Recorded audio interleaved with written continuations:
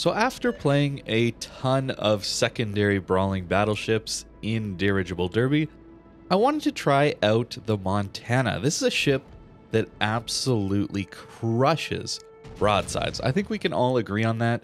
Its weakness is mainly that it doesn't have overmatch. But overall tight dispersion and devastating salvos on broadsides, well, most of the time, I guess, is why I really enjoy this ship. And you'll notice I'm going against the grain of these blimps. I think that getting a Montana on a flank could be an excellent way to win one of these games. Essentially, everyone wants to follow the path of the blimp. What if you put a Montana on a crossfire opportunity for the entire enemy team? That's the goal here. I'm trying to essentially just kill everything the enemy team is trying to push the blimp with. Unfortunately, we won't be able to spot destroyers, but this Puerto Rico is an excellent example he's just following the blimp, going flat broadside to me. And that's what we want to kill. I don't know if it's more or less successful than the uh, brawling battleship following the blimp or the brawling battleship taking control of the end game. But there we get our first citadel and bit of damage. This game, of course, is going to be a little sketchy since we're pushing into what would be, I believe, C-cap if we were in normal domination.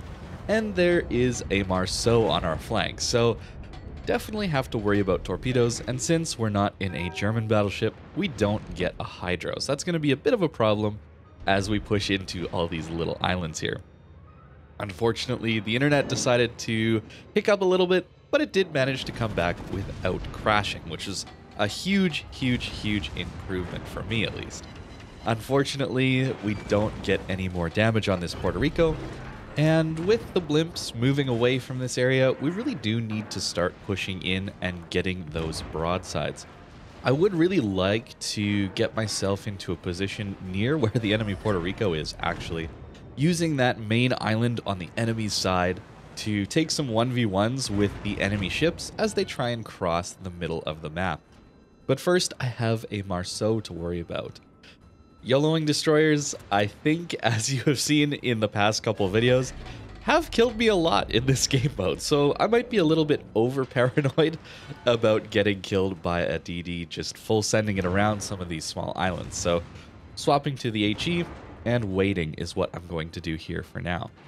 My team is doing an okay job. You know, really this game hasn't been decided yet, so I feel like it's okay to take a moment and stop here for a second. Not always pushing W is probably the more intelligent way to play a battleship pushing in. I haven't really been doing that recently, as you can see, and the results are a little bit mixed. If you just push W the entire time, constantly pushing. Five full pens out of Montana HE, and we only get 4,500 damage.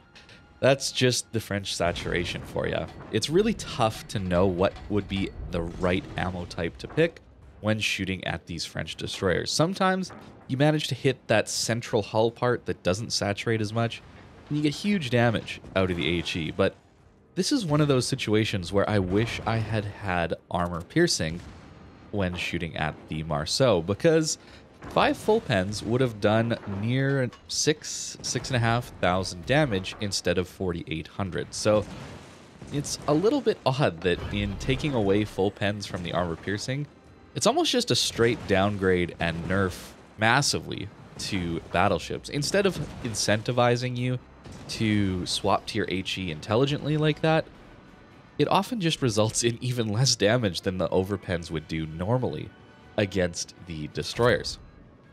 On to cruisers, though. Puerto Rico comes out, and I think that's enough broadside. We could get some citadels. Unfortunately, we don't. And I was really, really counting on, well, maybe not killing the Puerto Rico, but doing a ton of damage. Because I knew this Marceau, or sorry, the Minotaur was going to come out and try and torpedo me, which he's doing. So we fake like we're just going to continue in a straight line at full speed. And then when I think he's launched his torps, I slow down and turn in. We're only going to take four, so we will live. And since this Marceau actually shoots, or the Minotaur, wow, I can't even keep that straight in my head. The Minotaur shot after he smoked. He would have been totally safe if he had not shot after smoking up. He would have been dark, and I wouldn't have been able to see him. But he shoots, getting himself spotted, and we take him out for our first kill. Now, this Puerto Rico probably could be getting some citadels or some huge pen damage in through my bow because he has improved pen angles. But he hasn't been, which is pretty lucky for me, and this time we're close enough to send those shells right through his bow into his citadel. It's important to know that I was messing with the camera there. That's very important. When you are on the first little tick into the binocular view, as zoomed out as you can be, while still having the binocular frame around your camera lens, essentially, that is how you get your guns to essentially depress their absolute lowest. So that is how I was able to send those shells so low into the Puerto Rico, even though we were basically right next to one another. That's the only way. Otherwise, if you're fully zoomed in like we are now, the guns actually won't go low enough to make that kind of shot. So unfortunately, it does get a little bit messy when you're scrolling in and out with the uh, mouse wheel. I really do prefer to just use shift. It's much cleaner that way, much easier. But in those situations, it helps a ton to get those guns low enough to get those citadels. And that's three kills. We've cleaned up this flank really, really well.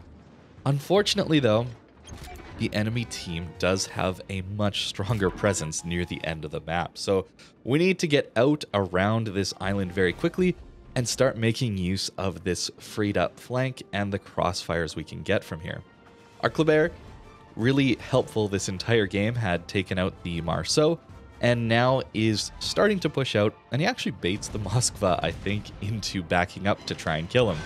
We managed to take him out. That's our fourth kill, and now we've cleared up a path for our Marceau, or our Kleber, to push out. Got Marceau on the brain for some reason here. Now at this point, I think you can see what's happening. Our team is trying to push in and stall the enemy's blimp and keep ours moving, but the enemy team has just done a better job of it. This Worcester is going to go broadside to try and kill the Kleber, and of course, a broadside Worcester at 9 kilometers, that's probably gonna die when it comes to Montana. So 5 kills, no Kraken achievement in the Dirigible Derby game mode, but still, 5 kills, a really, really strong flank that ends in a defeat because we didn't focus on the objective. I'm not sure if it's simply because we flanked too much this game and didn't focus on the objective, or if it really is just a one off here where this flank would have worked out a little better had I been a little quicker or our team done a little bit more to help the blimp. So the build I've got on the Montana is a pretty standard build outside of trying to sneakily make use of secondaries a little bit. This is more to deal with some of those more difficult to kill brawling battleships since we do actually have a really good fire chance on these secondaries. It's actually 9%. But I'm not going in so far to get manual secondary battery aiming. I'm just trying to get the range up and let the pretty horrible accuracy, let's be honest, the base accuracy, hit some of the large targets at closer ranges just naturally. We're wanting to maximize healing, concealment, of course, because, well, you want to surprise people when you're on their flank and getting broadside shots and fire prevention is just so, so, so useful. Montana really is one of the tankiest ships with these builds, getting a 30 second damage control, incredible healing, and with this upgrade here in slot 6, the accuracy is amazing. So even though you're not traditionally the best brawler, it actually works out quite well, especially if you can get those broadsides. There's really no downside to taking secondary battery modification 1 here, since in Dirigible Derby, you're probably not going to be getting those cross maps anyway.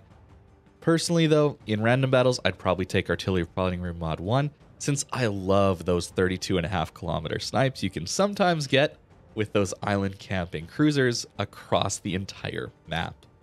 Overall, though, Montana is incredibly flexible. And you can really build it however you want to, but on a flank, I think this ship is certainly one of the best and scariest ships to deal with. It didn't work out this time, but I'm going to have to try it again because I do think flanking in Dirigible Derby with a Montana is actually a really good strategy. Thank you very much for watching, and I hope you have a great rest of your day.